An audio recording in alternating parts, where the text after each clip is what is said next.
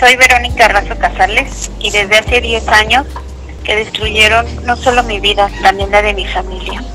Hemos tenido que sobrevivir a terribles experiencias que nos han enseñado a no darnos por vencidos.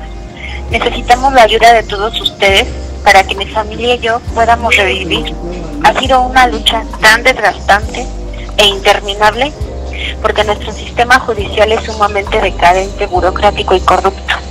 Pongo toda mi fe y confianza de con la ayuda de todos ustedes podamos romper esos candados y cadenas que oprimen nuestra libertad.